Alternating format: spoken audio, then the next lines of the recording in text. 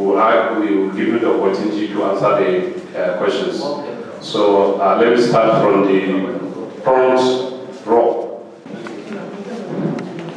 Thank you for the beautiful uh, presentation. Uh, I would like us, I'd like you to give us uh, an idea of the cost implication for setting up a small uh, hydroponic uh, uh, structure. Thank you. morning, everyone. I appreciate your presentation. Uh, please, I would like to ask the rocks for holding the plants, do you need any special equipment? Okay, uh, thank you for the uh, for this very good uh, presentation. I have to ask a few questions here. Uh, my first question is hydroponic for uh, I want to know the quantity of seeds or you you know you uh, you kind of uh, apply uh, per, per tray on the on the, grain for the grain on the hydroponic for that's one. And then secondly, uh, when you apply water on the on, the- on the on the tray, do you allow the water to drain or you allow it to you know to uh, kind of uh, you know to, to stay on you know to, to get retained on the on the uh, tray? So the third question is that you mentioned anything about uh, poultry uh, poultry feed here. So if you could just uh, kind of uh, maybe give a little bit highlight on that. On the, yeah, on the poultry feed, yeah, yeah, using this system. Thank you. Uh, uh, uh, Thank you very much for your practical presentation. Um, um, My interest is on fodder. Please, we would like to know, at least if you have an estimate, that we can be able to feed at least five dairy animals in in a year. How much would it cost us to be able to establish that uh, hydroponic uh, fodder? And secondly, the type of grains that we are using. What type of grain for, uh, most especially for growing uh, this hydroponic fodder for dairy animals? And thirdly, the water you are recycling, are you adding more nutrients to that for the plants? Thank you very much.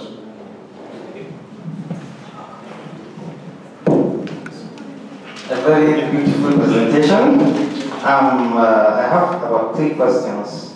The first one is, is on the, the hydroponic net. I think that's supposed to be hydroponic net.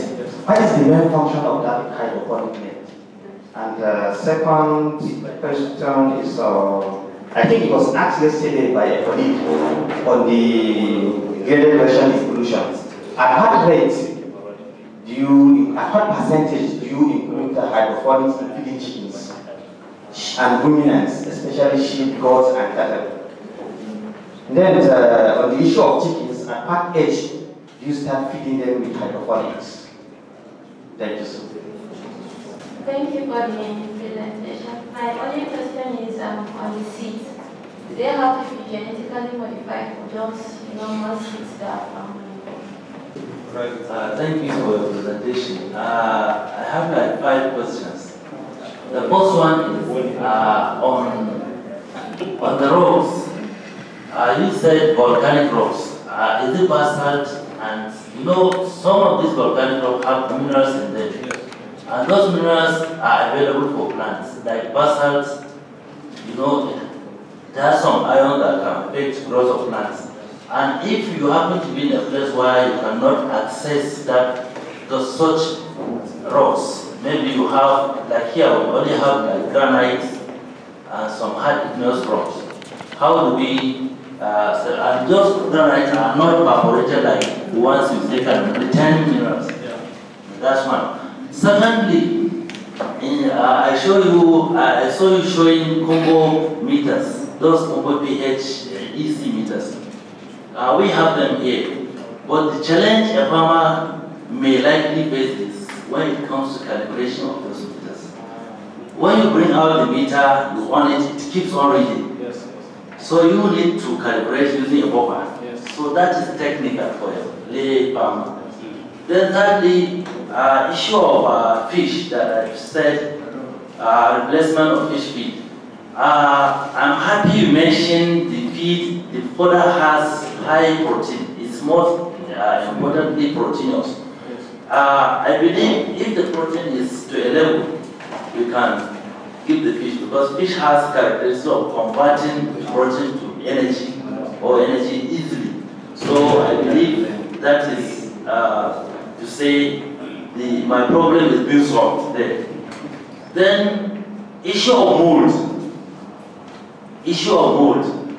Uh, if you use uh, a luminous container, you have mold. So is it easy for somebody who is using to cover it from behind with an opaque uh, polythene container? Is it, uh, can it work? So those are my queries.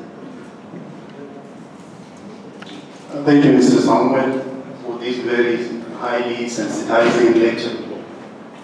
From my understanding and perception of the hydroponics technology, I have come to the conclusion that this technology is both knowledge and capital intensive. So I want to skip my technical questions because you promised us some materials coming our way. I want to concentrate just on one issue.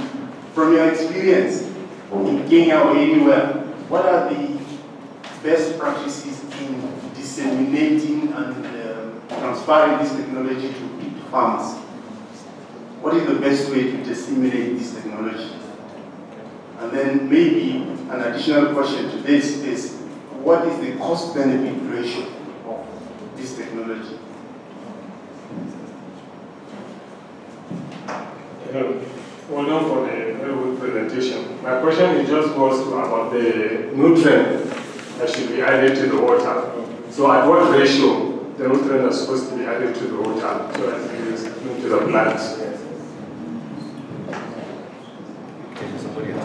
Thank you, Mr. Sabra, for that presentation. Uh, you said something about vertical farming, but you did not tell us the distance between each of the trees. Because I like, as looking at the present slide now, the distance between the first tree, the one close to the ground, and the one next to it, and the one on top of it, you did not say the distance. Please kindly find the distance between each of the trees. Thank you. Uh, thank you for the presentation.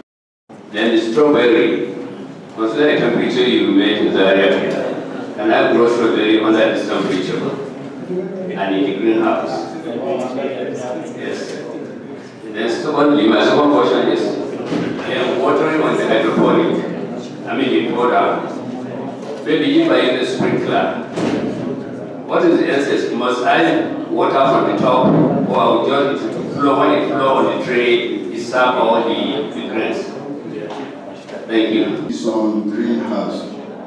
And uh, though our center of this morning is on uh, hydroponics. Uh, uh, this question has been nudging me on greenhouse, uh, which is, uh, does a greenhouse need ventilation or else, or otherwise? One, let me start with the uh, concept of greenhouse and screenhouse. For a greenhouse, it is basically um, glass. And like they said, there, is, there should be a lot of control. But I didn't say this. So I was wondering whether it is a modification between greenhouse and the screenhouse. Then besides that, we come to the vertical um, planting method that you use. It is actually going against the, what we know to be sensitivity to either geotropism or phototropism. How do we, how is that controlled and how is that managed? Then the third issue is the planting, the vertical system. I didn't see how the plants were planted. Are they planted in pillars, in pots, or in what systems, in what containers? But I just saw the roots emerging, okay? Within the vertical system. I saw it on the well for the horizontal system. I saw the roads taking the plants. Then the issue, another issue is this organic, with organic farming.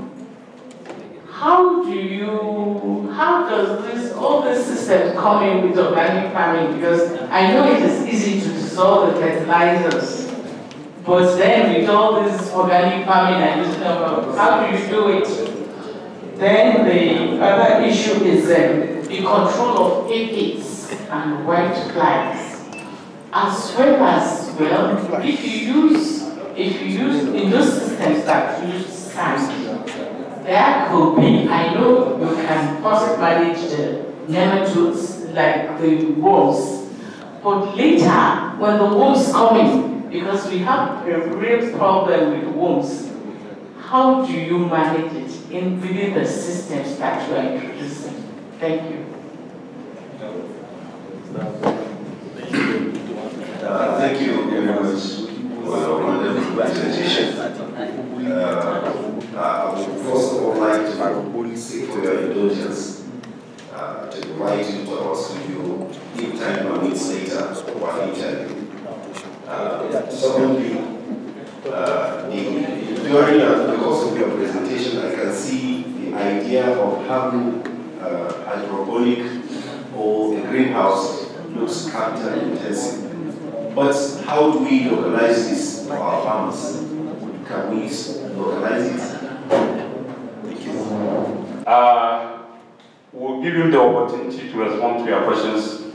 And uh, like you mentioned, we are going to, or he's going to send this, uh, the document to your emails. So you still have the opportunity to interact with him.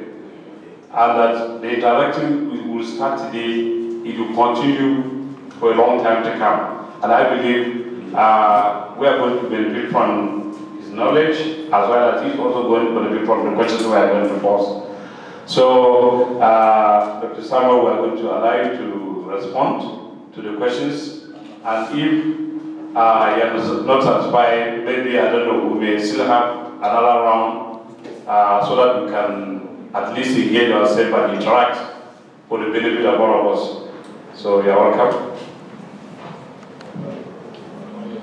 I feel very humbled to stand here because Doctor is calling me doctor, but I'm not doctor. I have no PhD to my, to my name, but uh, I will pursue even an MSc, then a PhD. As we, I feel very challenged. Uh, I'm just sharing uh, what I have learned. So I will start. I think there are 30 questions, but I will answer them in a very fast way. Number one is the cost implication for hydroponic unit for vegetables uh, and even I'll give you for fodder. I'll send you some of those documents. Uh, I hope they are writing their email addresses. Yeah, after this, I will just send you. Yeah. So the cost implication, I'll give you in terms of just general cost. So on the cost implication, we say the hydroponics has a higher initial cost of setup. It's capital intensive. And uh, how we approach it, we approach it with lean budgets. Number one, the structures that we do for either fodder or vegetables, you must look for the most simple, the most basic that can be used in that case. It's the most basic that we go for, so that we make it work. So, for hydroponic vegetables, for example, uh, 5 meters by 3 meters structure. If I'm going to feed strawberries, I can fit how many, how many towers? 20 pipes. And the cost of setting that up will be $1,500. 1,500. you're setting up the whole infrastructure for strawberries, okay? Just write somewhere if you want to compare. For strawberries, five meter by three, fifteen hundred dollars, one thousand five hundred. Now, for tomatoes, I'm just referring to the documents I will send you. For tomatoes or uh, capsicums, it's uh, 550 dollars. US dollars. Yeah, US dollars. Five by three. Yeah, five meter by three meter. You can fit 80 vines. 80 vines in uh, five by three. Yeah. Eight zero. Just the structures were including the nutrients and This, the this, this numbers is everything. Yeah, Yeah, it's uh, the construction, the seedlings, the nutrient, everything. It's not, it's a calculation of all costs without hidden costs. Even costs of uh, consultation, maybe hiring people, labor, such things. So uh, 80 plants, um, uh, one tomato plant will give a minimum of 20 kgs per, per season. A season may range from 7 to 12 months. So that is for tomatoes. For capsicums, it's normally 7 to 10 kgs per plant per season. So you can calculate that by 80. Uh, for lettuce, it will cost you 2,500 US dollars. And uh, you can fit 512 heads. You know, heads are, are bulky than leaves. What you saw here was leaves. If you are doing leaves, you, you can fit very many. You can even plant two in the same cup. But for heads, you need it to grow. So it's uh, for this for lettuce. Okay. Now for fodder, we have the five by three space. It can it can be a right, it can be enough to feed 20 cows as a protein supplement. It will cost you a maximum of $300. Then there is a small one of uh, 10 cows, 5 by 2.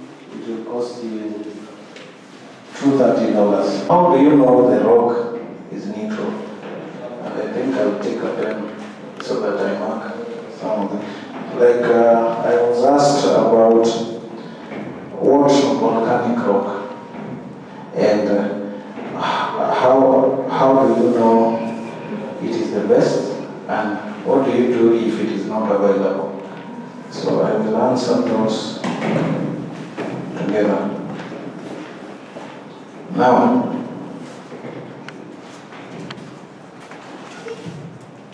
uh, we use pumice because is available in Kenya. In Kenya it is available uh, in very great quantities. So it's it's a, you're able to transport even for long distances because they charge you very less and it's also light. But now, how to know whether a rock is good for hydroponic use is very simple. Just take the rock, okay, just small pieces of the rock, don't take those big ones. The small pieces, uh, dip them in a cup that has vinegar, Okay? I don't know. Who knows the chemical composition of vinegar? Yeah? It's. Yeah? It's an acid. Citric acid. Now, it's an acid. Okay? It's a safe acid and we use it even in food. Now, you dip that, uh, what do you call it, the rocks in the vinegar. If you see some bubbles, what does that tell you? There's some reaction. If you see some bubbles, do away that rock. If you don't see the bubbles, wait for one week and keep checking. Keep stirring and checking. If you see it is not giving bubbles, ever since you started, then it is good to use. That's how easily we test, and it is all rocks. The, that test, it's called the vinegar test. It works for all rocks. Yeah. So what is the meaning of that? Uh, the meaning of Yes, that, that bubbles that move. The, the bubbles means that it has some carbonates. It has some carbonates. Most rocks have carbonates uh, in them, uh, and you want to avoid that because if you'll be using a nutrient solution and there are some carbonates, they form compounds with those uh, solutions, and then your whole composition is, is, is yeah, will change. So there is no special treatment. If you do not have pumice or volcanic rock, do the vinegar test. Whatever rock fits that vinegar test, use it. Because why are we using the pumice? That was another question. Why are we using the pumice? Number one, the pumice is porous. It allows water to to to to get to the plants through capillarity. Okay? But even if your rock is not porous, you can still use it. It's only that you allow the roots to to to be close to the water. Okay? So we use the the rock or whatever rock you want to call it, just for support of the roots. Stop. It's it's purely for support. There is no other use it serves. Now, the mix ratio for nutrients, that one I will send. That one I will send. I will tell you one thing. There are some shortcuts you cannot take when making nutrients. The people who put business ahead of safety. Biosafety is very important because even the chemicals, uh, the chemical fertilizer we use in the farm, uh, it doesn't have a lot of damage. It has some damage to the soil, but not not much. And uh, the ratio has to, you have to make sure the ratio is safe. And there is that uh, recipe I will send you, so don't worry about that. And uh, there is macronutrients, micronutrients, okay? And uh, when you're making, there are some chemicals that you cannot mix together. They have to be stored differently. So that's the chemistry bit of it. On the quantity of trays, uh, quantity of seeds per tray, it depends on the seeds. Barley, wheat, someone also asked about the type of seeds. Yeah, type of grains. Let me mark that. I want you to write this information. You can use six types of grains. If you have a pen, just write it down. Write on one side, write seeds. On the other side, write percentage of crude protein. The reason we do livestock keeping is because we want some products. And those products are sources of protein. Protein is everything we do. You want meat? Protein. Eggs are protein. Milk is protein. Okay? So, if you don't have protein, you don't have production. So that's why we have the fodder. It's a good source of protein. Now we start with the lowest. It's maize. Maize has 6% crude protein. Crude protein is the protein that the animal gets in simple terms. It's 6% simply crude protein. That is maize. Sorghum. Sorghum is not a problem in Nigeria. It's 11% crude protein. Then uh, millet. Millet, there is many varieties. Of millet. It's 12%. Crude protein. First is maize, 6%. Second, we uh, sorghum, 11%. Millet, 12%. Wheat is uh, 19%. Yeah, one nine. Then we go to oats. I don't know, oats are very popular in Kenya. Uh, it's 21% crude protein. Two one, of barley for making beer. That one is two three, 23%. Then we have the last one, it's uh, soya bean. Remember, we are just germinating this series. Soya bean is 40%. So, how do we know the quantity of? The most basic formula is to put half the surface area of that tray.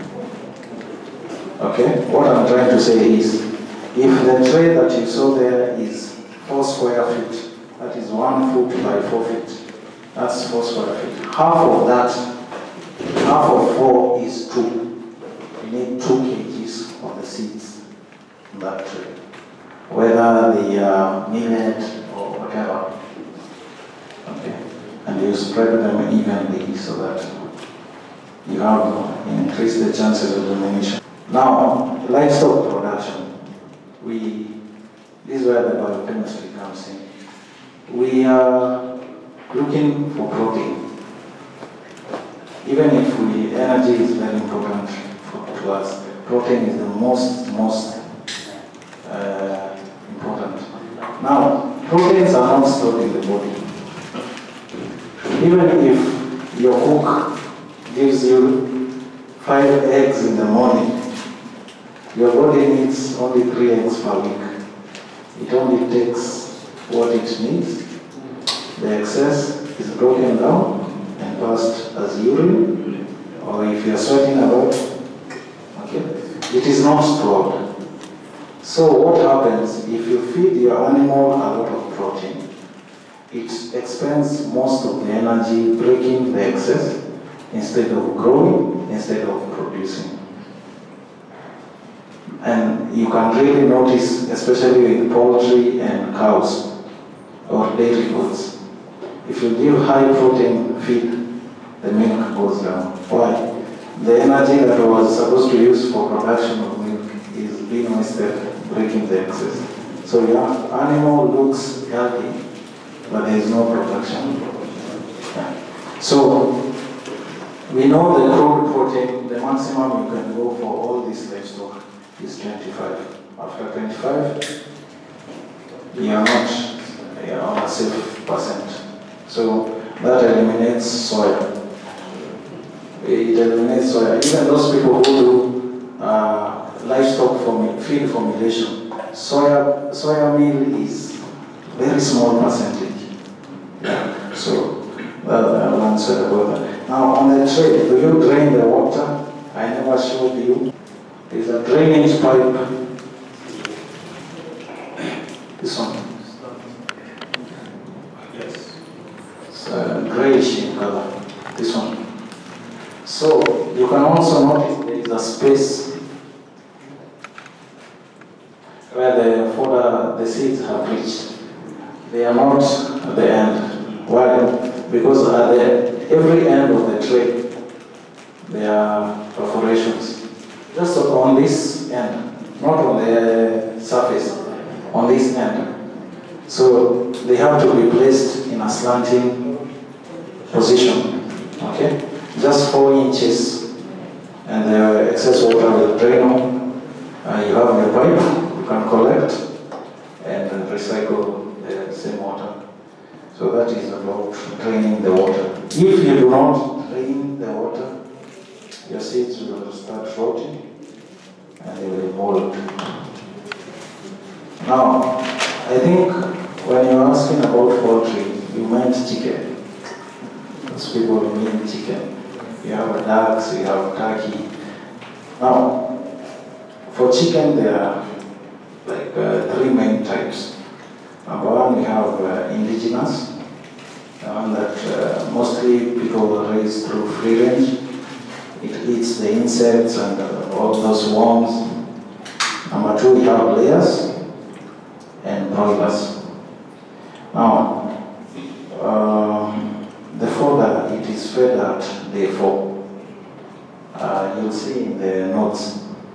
That means since you started the soaking, it will only last for four days. And uh, you learn why in the notes because you know chicken do not have a stomach. They just have a crop. So if you give them a lot of fiber, they constipate. You have to be very careful.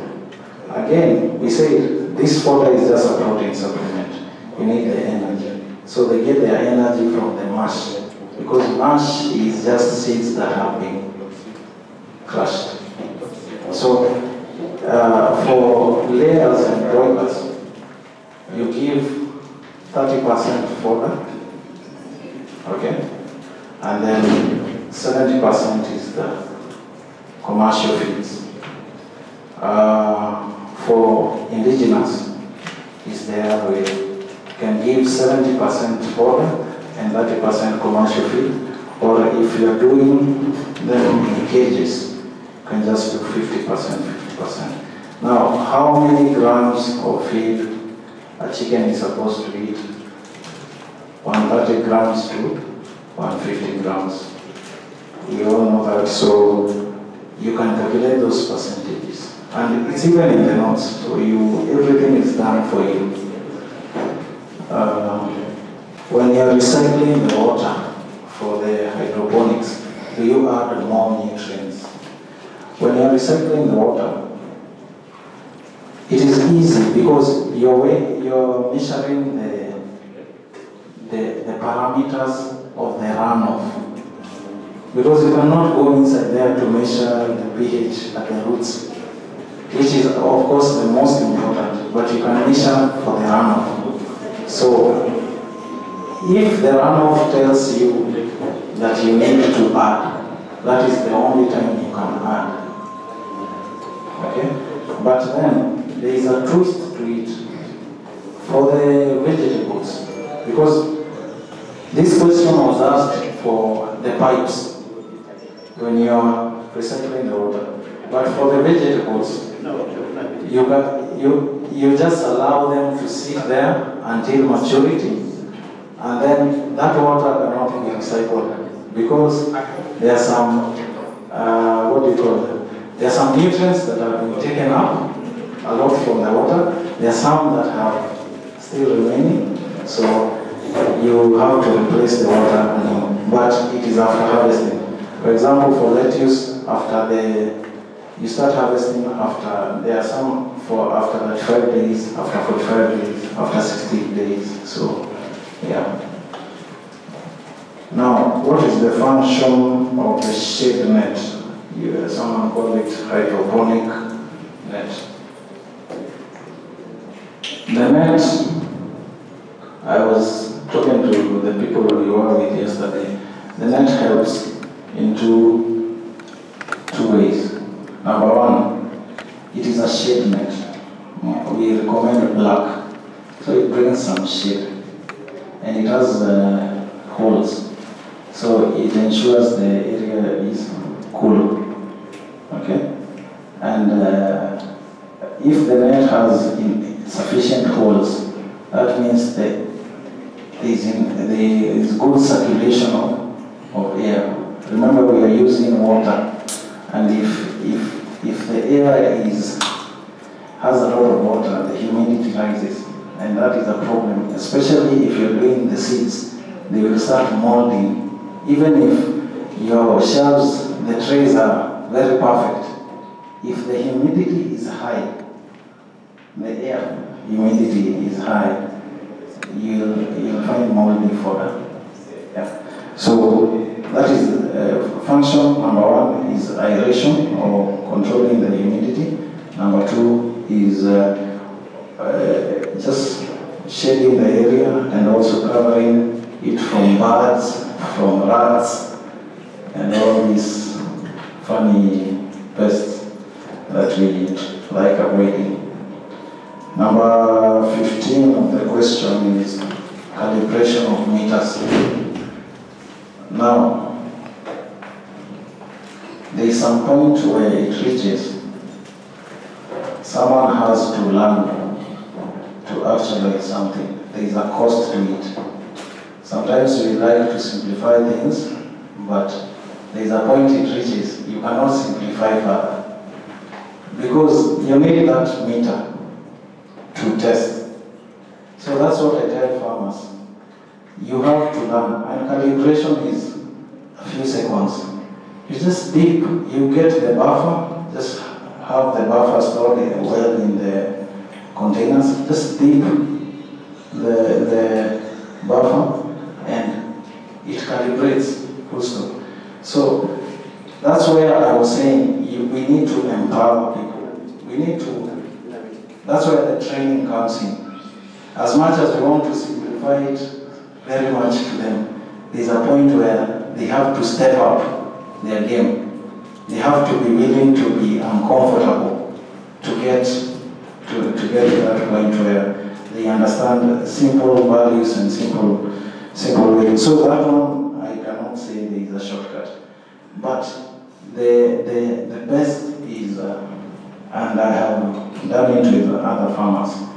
If I have I'm selling a nutrient solution that I have made and I know the concentration as at that time, I am able to tell them just use this quantity in mLs. Actually, you'll see in the notes I'll send you 10 ml to 30 ml when seedling stage. Uh, when you get to flowering, these are the mLs because I know it is safe. Then when you're harvesting, these mLs. That way I'm able to tell people who cannot afford a, a meter. As for EC, I tell them to change the water after every so often. Like once a month if they're just seedlings, fortnight if they are flowering, and if you're harvesting every week, you change your water.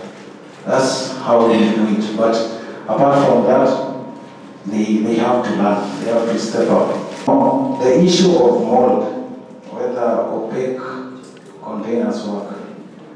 You saw my there, it is not, it is opaque, but people still have moldy fodder. Now, there are, I think, four, four causes of mold. I don't think that one is in the notes. You might want to write it. Number one, it is uh, drainage problems. Okay? If water is not draining it becomes serious, that means there is no oxygen in, the, in that area. They will have to mold. That is number one. Drainage. It could be here uh, on the tray, or it could be in the incubation. You said, remember the beer example, sovereign beer. You incubate the seeds to have some whitish radicles, then you transfer them on the tray. That is on the procedure we learned in that. But if you have problems, mold is a must. Number two, if humidity is high, definitely they will mold. So that comes in with the net, the shade net. If, for example, here it's very hot, we need a net that has larger holes to allow air to continually move in the structure. In a very cold area, we need net smaller holes to ensure we have enough warmth. So that is uh, the humidity and the temperatures. They go together, temperature, humidity, drainage. Number four is uh, hygiene. If you look at this floor, you'll see it is covered in uh, black polythene. That is the simplest way of avoiding soil contamination. Because most of our farmers are not able to cement uh, as you have done here. So we advise the polythene. So if that, if that uh, soil get, gets into the trees, the seeds have to, to mold. Or after harvesting, uh, as you saw, you can see you're supposed to get a very white root mat.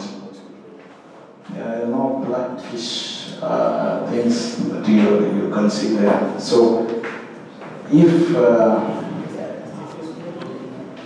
if there is mold, you notice some grayish, whitish things there. So uh, hygiene is very important. After harvesting, the way you see it has been harvested, you need to wash the tree. These are aluminium. We use aluminium for our cooking utensils. The way you wash soap and water, it's not a must to use bleach. You use uh, normal soap, even bar soap. Just wash and it's clean and then rinse. Because if you keep using the tray without washing, you entertain that that. Yeah, so that is the issue of mold. Best practices to disseminate technology. Uh, I think in Kenya we have we have had a lot of support from the Ministry of Livestock and Agriculture because they invite us for the uh, trade fairs, agricultural shows. Uh, we have, as the director was saying yesterday, there are some zones, there are some cells. Uh, so we have all those. Normally in our country, there's a timetable for agriculture from January to December. And you can be a member where now you're given that calendar and you're given, uh, it's called a ticket uh, to all those you, which you pay yearly. So that's what we do. You just get that calendar and make sure you are in those cells, in those zones, always spreading the, the news. Uh, another thing is uh, something like this, where we have seminars. Uh, another thing is uh, the shows and also the media. Now, the media was in Kenya, we have noticed. You know, they love juicy stories. Someone is dead there, someone is doing this, someone is doing this. Negativity always sells than positive. So what we do is we approach the, the small media companies, give them, they are hungry for information, so we just give them something. And once they air, the other big ones will follow suit. And uh, also newspaper, websites, we make sure that we post uh, the information and we have a lot of people sharing. Nowadays, Facebook and Twitter are really working to disseminate.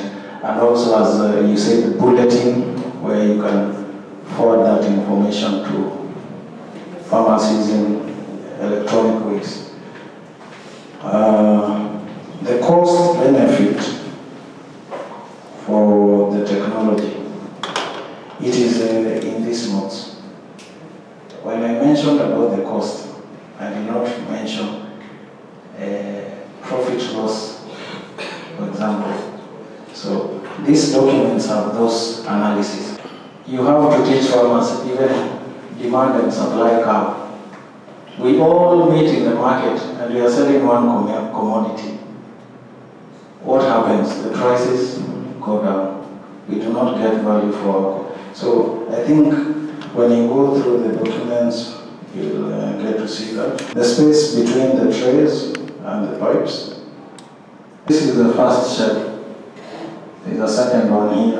Actually, the people who have gone to that unit, uh, once we go, we'll see. We want at least 40 centimeters, just to ensure that uh, there is no much humidity uh, staying around, and uh, also for ease of watering the, the fodder. Uh, but if you look at this photo, these pipes,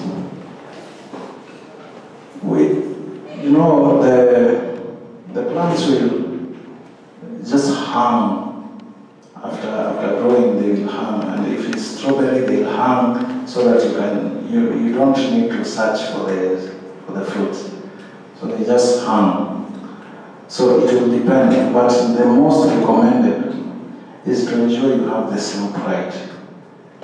Because even if they hang and maybe they meet, you can you can just prune, get the runners, uh, have more strawberries or such things. But uh, the slope is the most important. The water should drain. So if you ask me, uh, the distance between this one and this one is around uh, 50 centimeters or 60 centimeters. That's around two feet. So 60 for, for this, and for the fodder we say 40 centimeters.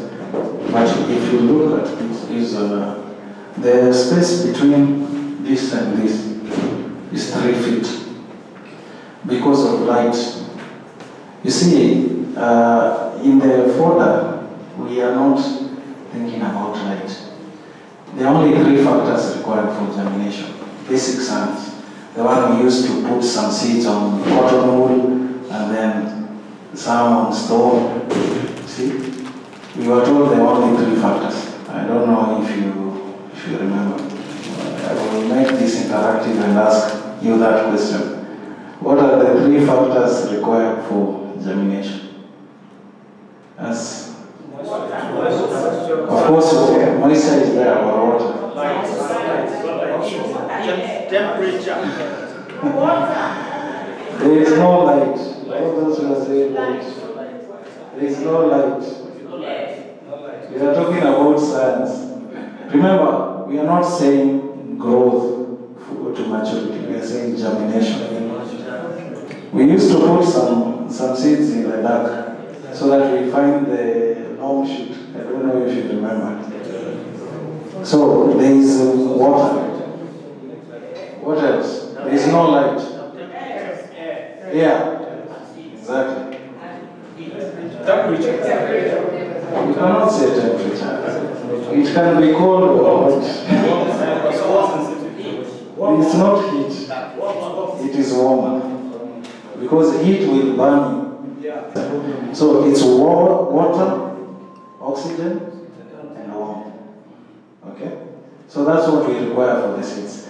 But as uh, mom asked, uh, she asked uh, about phototropism. It's very important for you to notice what you're growing. For example, lettuce, you saw the, the way they looked like a bush. It is because those ones are just leafy. So, and there was so much light coming from the sides, from the top. So we didn't have a problem with that. But if you're doing tomatoes, for example, or if you're doing strawberries, you cannot have this pipe next to this one. The way we arrange them, we arrange them in a zigzag manner.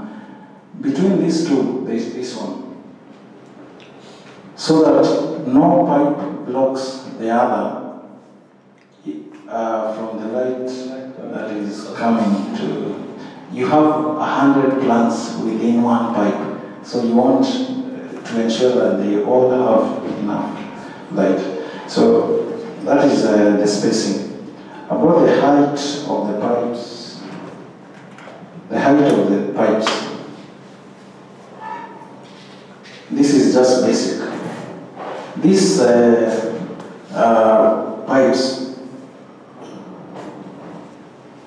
we cut them to six feet because the person who was working there said uh, he can be able to reach six feet. Six feet is my height.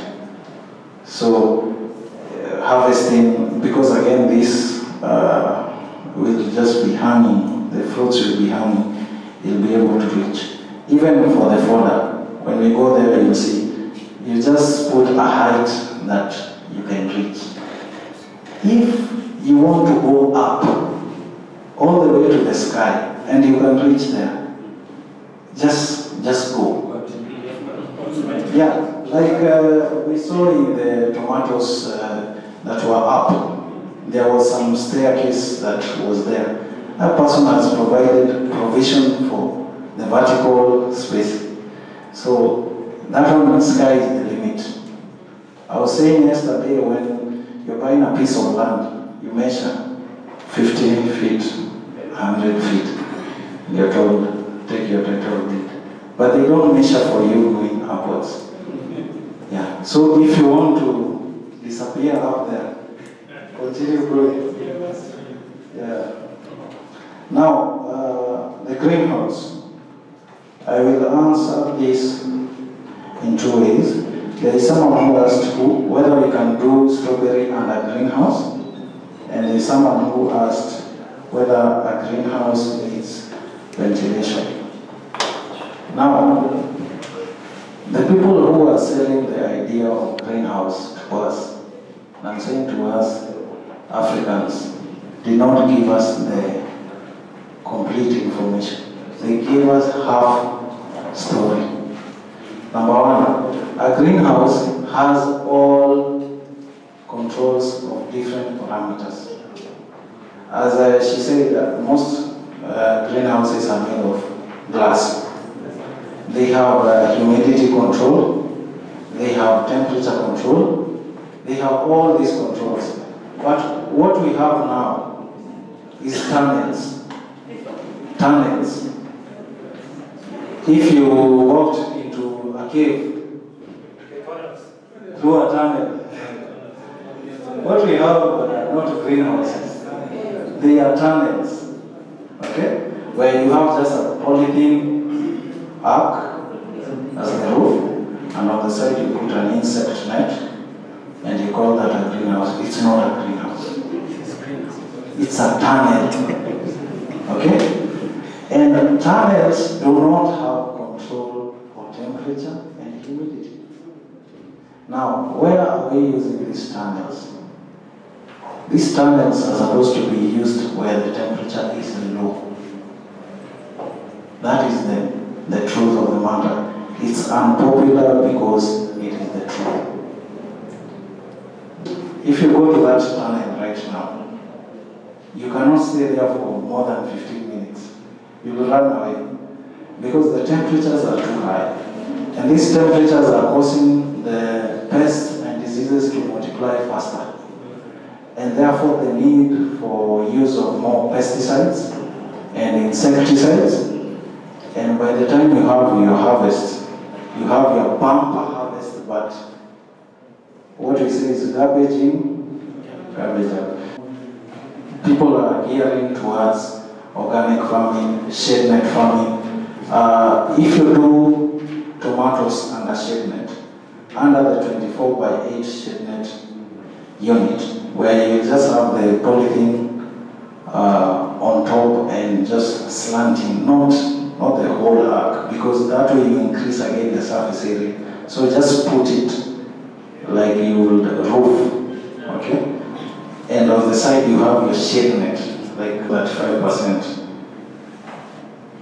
You find the yield is five to six times higher than the tunnel. I mean, the issue is not that these uh, tomatoes are now growing five times. Uh, no, it's in cages.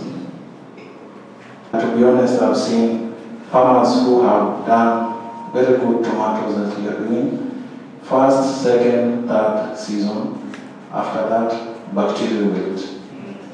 I've heard that story for everyone who has ever done tomatoes in that in that way. So I'm not trying to discourage you, but I'm just trying to say it has its own challenges because of the heat, the temperatures, the humidity. That's a challenge. And uh, I hear now in Kenya, I believe even in Nigeria there is, there is a way you can control the bacterial wilt. That is even before you start planting and continually control. That is about the, the, the greenhouse. Uh, so uh, I think The greenhouse here stands for the tunnel. It needs ventilation. What we do is we modify it. So we pull off the insect net, okay, and then put a shade net. But the, the results are not as good as the one that you have done from scratch. But we, all, we always modify it. We tell farmers, first have some harvest, decent harvest, then maybe you can, you can do something on the roof. So we have to, to control the humidity and temperatures. If you are using a greenhouse, that is, you can. But for the tunnels, you cannot. So you have to do the sides in a, with a shade net. Yeah. So for the strawberry, whether you can do an, a, a greenhouse, yes, you can. Because, but for a tunnel, you cannot. You, you have to modify. Now, do you water the fodder? How do you water? This way. It's on, it's on top, overhead, on top. If uh, you had a sprinkler, it will not do uh, good watering. Why? Because it, it throws to a certain circumference. But this one you want to concentrate every part of the tree. So what we say is, let's find a hose pipe. Let's put it inside a bottle, like this one. I'll just demonstrate here. Let's put our hose pipe here and make sure this uh, opening is well sealed. Okay? The water coming the, from the hose pipe has enough pressure. Let's put some holes here. That's a good shower. You can easily uh, water uh, your, you see, if you don't want to use the, the, the container with some holes. So that's how you water. Geotropism, phototropism, I think we talked about that. Yeah, because uh, in this case, even if uh, you are actualizing a new technology, science is still science. You cannot, there are some things you cannot go against, like we said with the light. Now, how to plant? I don't know if in Nigeria, maybe you can tell me, do you have this, do people plant uh, these uh, vegetables in sacks? Where you have a sack, uh, and then you, you put some soil, and then you, you put some holes on the side of the sack, and then you insert your, your spinach. Yes? Yes, Whether polythene bags or, or sacks, but you, you, you get what I'm But do you have sand inside the bag? You have soil. Yes. Yeah. You have soil in the sack. Yes. Yeah, you put soil first, and there's a way you you you put while shaking, and then you put some holes on the on the sides, and then put your vegetable, and you can have a lot of sacks and have a lot of sacks going upwards.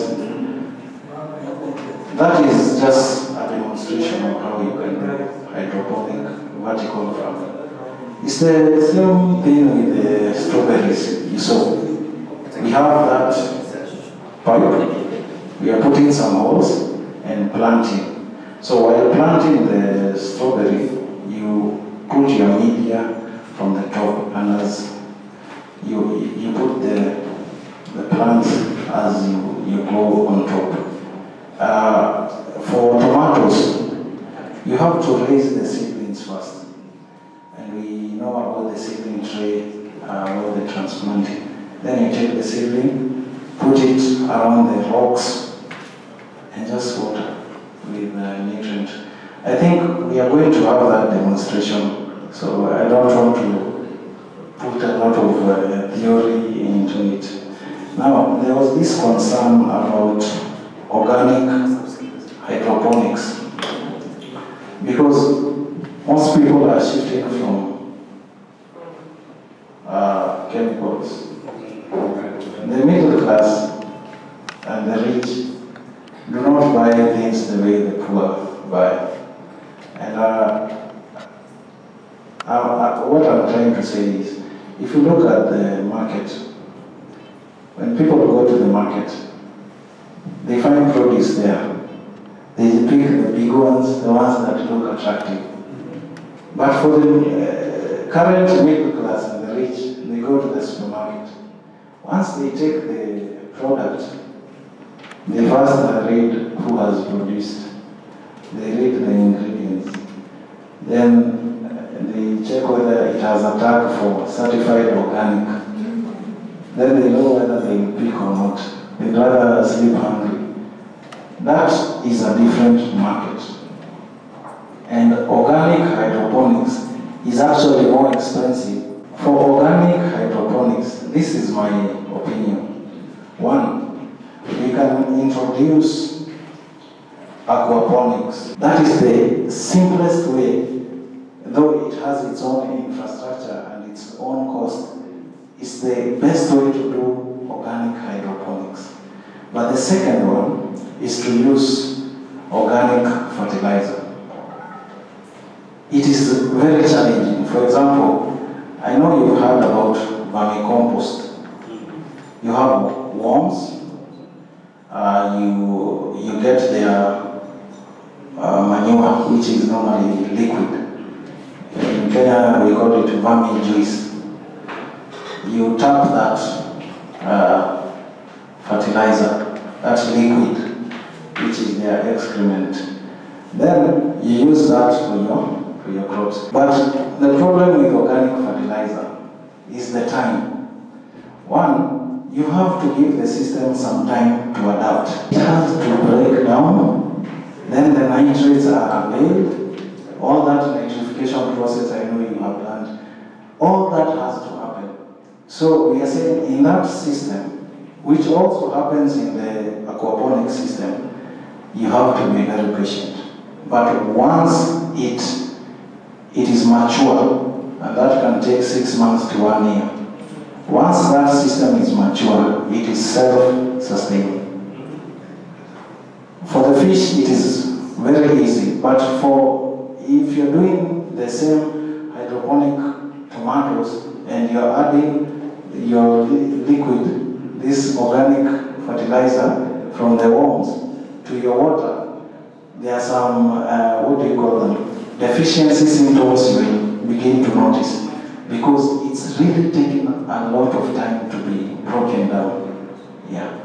So the best way of doing organic hydroponics is using fish. Uh, control of aphids and worms uh, in these systems. Now, uh, I'm almost finishing. I have two more questions remaining. Now, make sure you are using the molasses and the and the mixture of garlic. The last one uh, is uh, how to localize these hydroponic vegetables. I think it is in using the locally available materials. Yes. Uh, how we avoid algae is that simple. Ensure there is no light getting to the root zone or to the water for the floating raft. The last one uh, is uh, how to localize these hydroponic vegetables.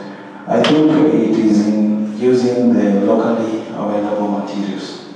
We would like our farmers to be to adopt all these systems, but not all of them are ready to adopt, maybe due to finances or just basic understanding of economics, like economies of scale. There is no point, as I said, with the small, you saw those four pipes that were growing around 16 plants, and the same space can have over 100 plants. I think it is what we were talking in the conference in Abuja uh, this week. We are saying the government should step up, and the Central Bank of Nigeria was there also. We were saying as much as we want to invest some money, uh, here the president said that uh, the agriculture sector should be boosted. But we are not just saying bring money, pour to these farmers without training, without infrastructure. But you find we are telephone farmers. You're in the office, you have 500 layers,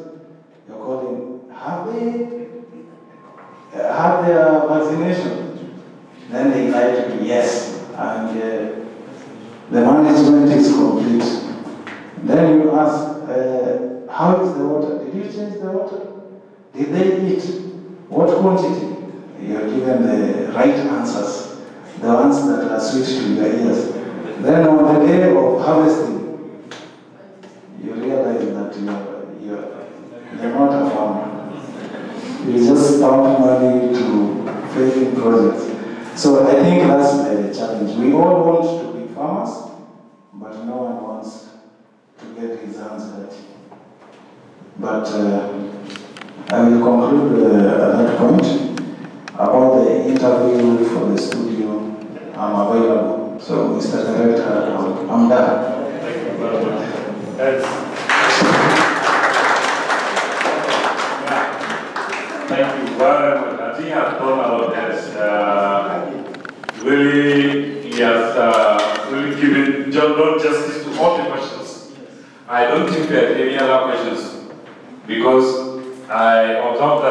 went out of, you know, to give an extra uh, explanation on some of the questions. Maybe he was reading your mind that maybe after he answered that question, your mind is going to ask for the next question, so you answered it already. So thank you very much, uh. Samuel. And uh, with this one, we have come to the end of uh, the program because we are already about one and a, one hour, some minutes behind the schedule. Uh, there will be practicals. Whatever he has said here, we will try to demonstrate it. The practical is also uh, free for everybody. Every interested uh, person here or any other person outside here who is interested to know about this hydroponics and how it's going to be done and how it's so please you can come for the practical. It is going to start. Uh, now that we're start we're finishing by 12 o'clock. I would suggest maybe it should be around 3 o'clock. So that we can give him at least two hours to to refresh himself. Uh, I think uh, although he says he's not a teacher, but uh, he looks like uh, he, he had done the teaching very well because there was no stress that he was tired of talking and uh, tired of explanation. And I also observed he was watching everybody's face to see whether there's interest in it. Because the whole idea that if you're teaching and you see somebody sleeping like this or another person talking to his car, then you'll be very discouraged. But uh, I think there was a lot of concentrations despite, uh, uh, we know, loss making here and there. So uh, we thank you very much. I don't know if there's anything apart from this. Otherwise, uh, we'll, we'll, I'll just uh, say we thank every one of you for coming here. Uh, you should feel free, by the time you start the, the emails, we can even form a kind of uh, discussion group. You can even have WhatsApp, call it maybe hydroponics uh, institutional group or farmers or whatever. Okay? And we can just be talking and talking and talking and be learning from each other. And I believe it's going to be a very one. So, all again, we thank you, thank you. We can't stop thanking you until you give this blessing. We are very grateful to the Almighty God who has uh, brought us here and has uh, seen us through this, out this level. We'll continue the next level. So, uh, good afternoon, everybody.